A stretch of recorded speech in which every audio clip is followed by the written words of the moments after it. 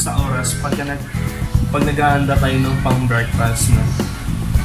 Napapansin mo kasi, uh, ang daming natitira at nasasayang na pagkain. Lalo pag wala kang refrigerator. No? Wala sana kung may refrigerator ka, pwede mo pa siyang kainin kinabukasan. Paano pag wala? At hindi ka na makahilig magkakain. So, nasa sayang. Saka lalo't wala kang alagang hayop sa bahay. So, sino kakain? Bakwa? diba? Diba? So, ngayon, gagawa tayo ng solusyon para dun sa mga tirang-tirang pagkain. Yun lang yung pinaka the best way para hindi kayo magtapon ng pagkain. So ngayon, gagawa tayo ng solusyon. Ito nakita ko na lang din to dati sa Facebook ha, or sa YouTube. Parang i-demonstrate ko lang ulit sa inyo. Diba? Para, para lahat tayo makikinabang. Diba? Huwag tayo maging selfish sa sariling bayan. oh no! So ngayon guys, andito yung mga ingredients natin. So, yung sinabi ko sa iyo, sa inyo yung tirang-tirang pagkain nito yung kilo tapos longganisa. Tapos dalawang egg. Of course, onion. Tapos garlic.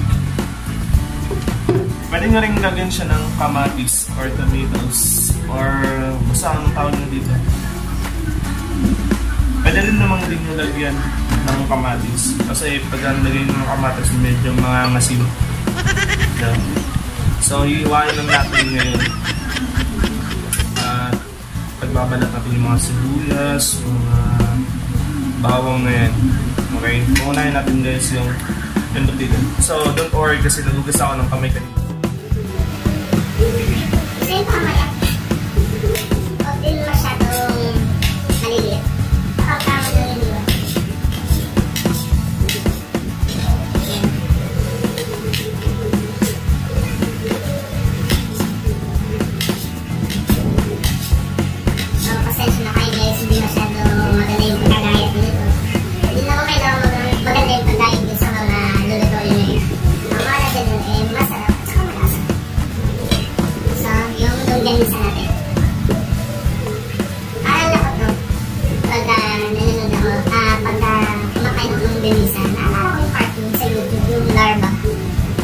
Kulit-kulit nila. Saka ito yung, ito, ito, yung lang nilang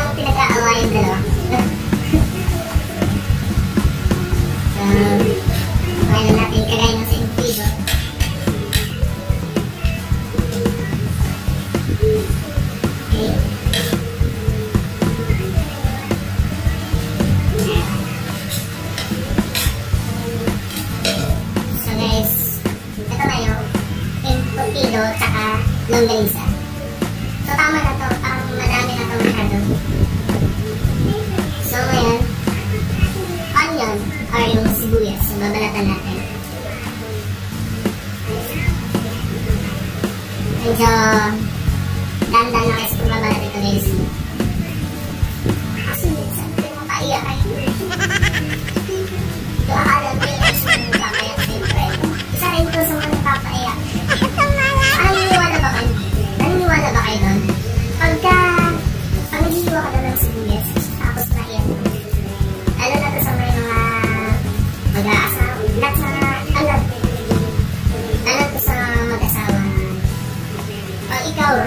umiyak habang naghihiwa ng sibuyas, ikaw raw ay mahina sa iyong blood.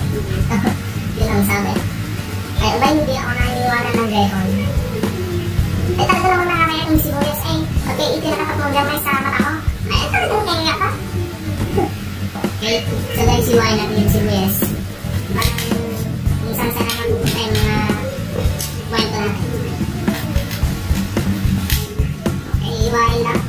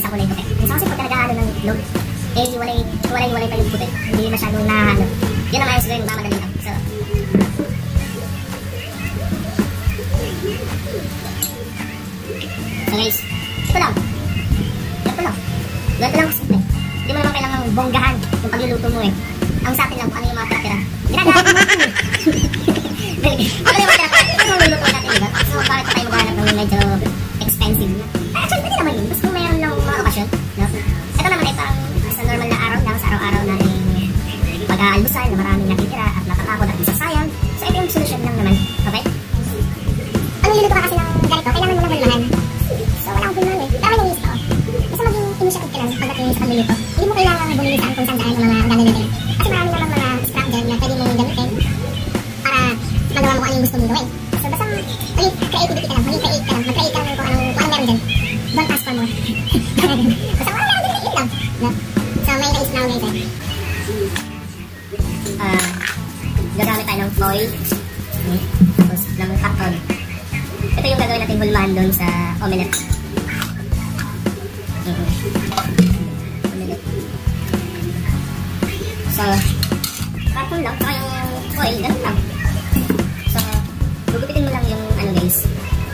Yung carton.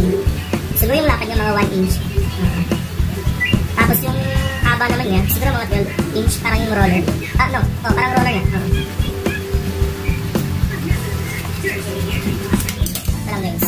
Tapos, ito fold mo lang siya ng ganito. Colgate. fold mo lang siya ng ganito guys. Ito. Oh, parang na siya, diba? Tapos, pupulit ka lang ng foil. Tapos, parang, yun ang gagawin mo pandikit para hindi humiwalay yung bawat dulo ng karton. Tapos, pag sa tingin mo, okay na. Medyo nakapit na yung bawat dulo at hindi na sila kakalas. So, yung buong karton na naman, yung babalutin natin gamit ng foil. So, na yun guys.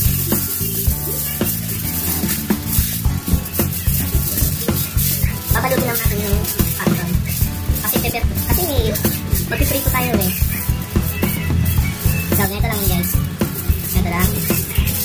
Basta babalutin mo lang lahat yung karton.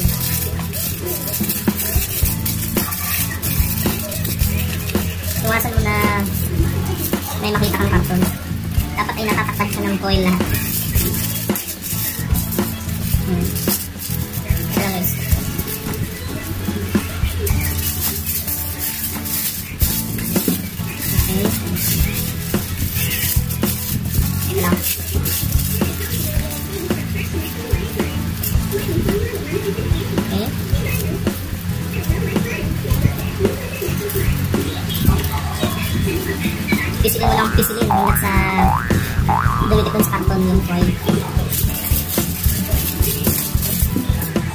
Iwasin nyo na may makita kayong karton sa loob. Kailangan takpan nyo yun. Takpan nyo. Kailangan takpan nyo. Okay.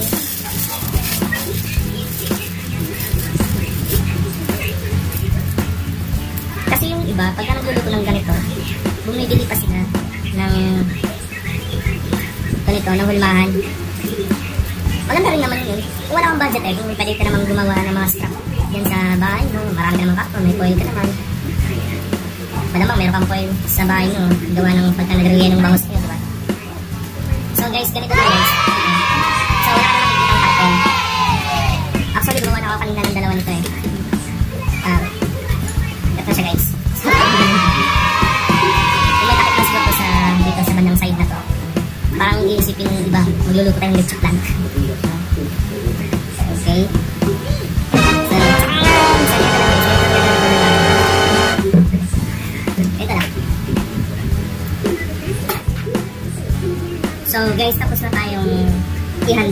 yung mga rekado. So, ang gagawin lang natin ngayon, pag-alo-alo lang yung mga ingredients. Of course, itong embutido, ang ganisa.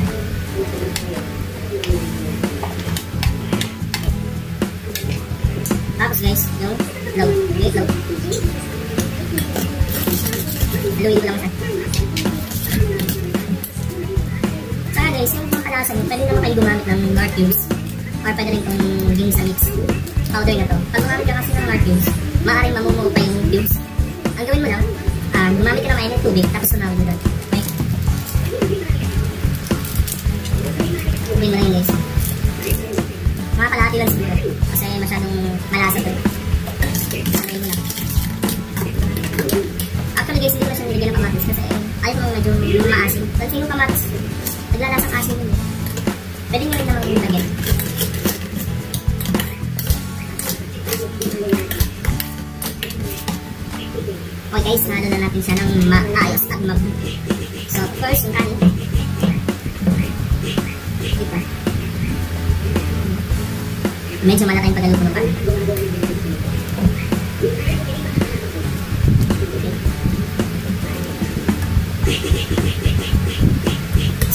Guys. Haluin nyo lang siya ng maigi.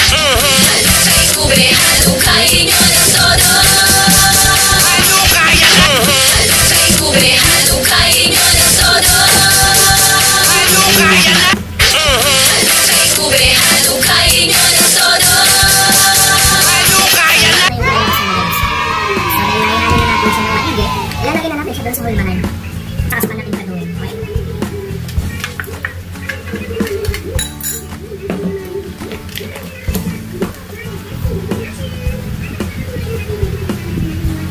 ko lang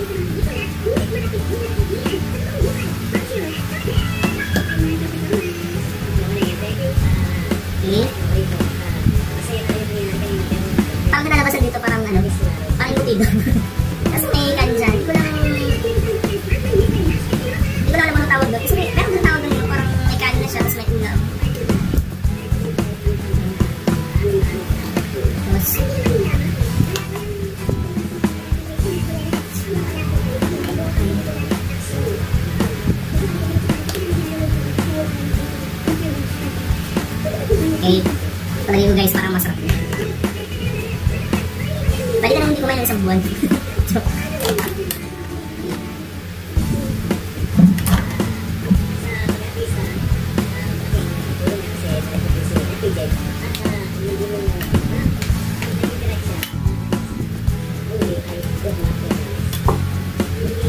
So, ganito lang yun guys.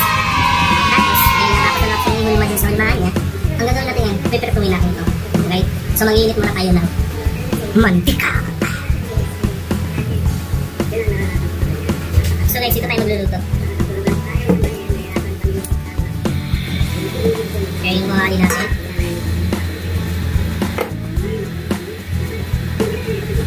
Diba guys, ang bilis.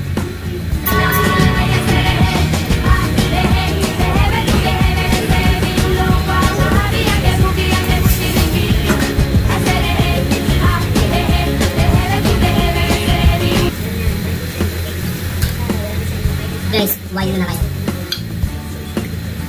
Ang paganda doon sa dulo ko eh, para para malasig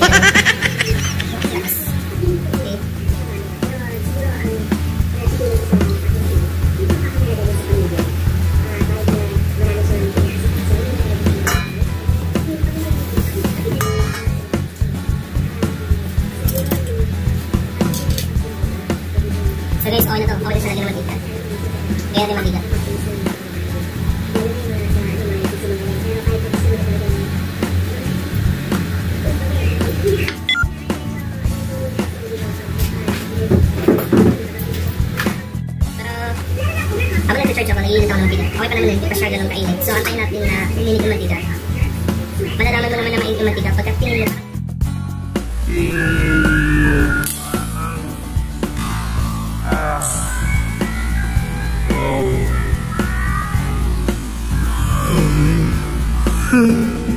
umuusok ka. So, ibig sabihin nun, sobrang init niya na talaga. Yun yung secret sa pag nagpiprito ka, dapat eh, talagang sobrang init yung mantika. Para talagang maluto na maluto na maiging niluluto mo.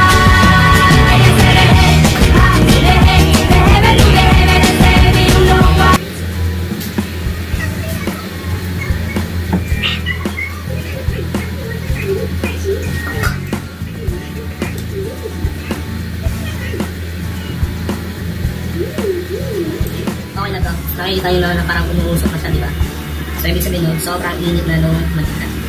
So, lagyan na natin dito.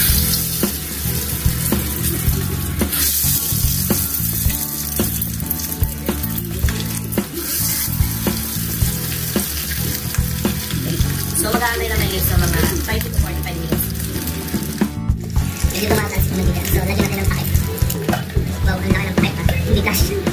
Okay na yun, sa matakpan lang. So, mag-aantay tayo mga 30 to 45 minutes at ready to eat pa.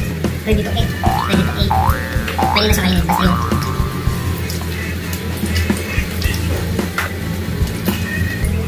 Guys, may 30 minutes na simula nung nilagay natin dun sa mainit na mantika yung omelette natin. So ngayon guys, titignan natin kung okay ba yung pagkaluto niya. Dapat kasi yung pagkaluto nito medyo golden brown. So, yung tamang pagka-brown lang, hindi yung parang sunog. Basta ang katamtaman lang. Tsaka, ang maganda yun guys, dapat hunaan mo lang yung apoy. Mas okay na yung nag-aantay ka ng matagal. Sulit yung luto. Kaysa naman yung minamadali yung luto mo. Pero, di ba, masasayang lang. So, mas maganda yung mag-aantay ka. Mas maganda kasi yung nag-aantay ka ng matagal kasi andun yung pinakamatamis na luto. Mas maganda ka ng matagal. Huwag masyadong mainit guys, okay? So, guys, tignan natin. Wow. Ganito ah. Di ba? So, babalik tayo natin. Lalo lang naman dito. Ay, hindi, ibabalik naman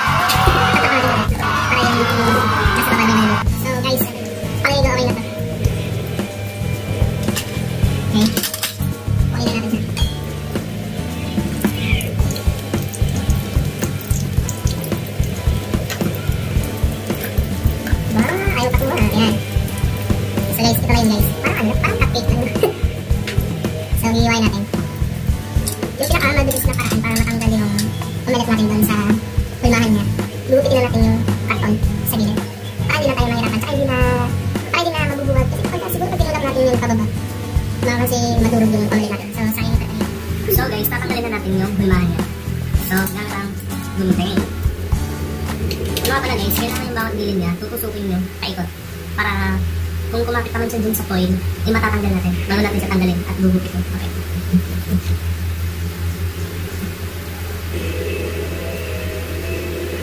Mainit. Mainit. Mainit.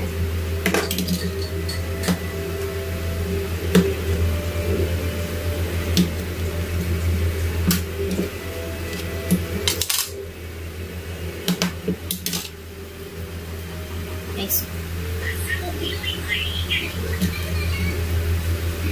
Yan. Okay. Mainit. Mag-ingat kayo guys. Medyo konti ingat lang kasi medyo mainit.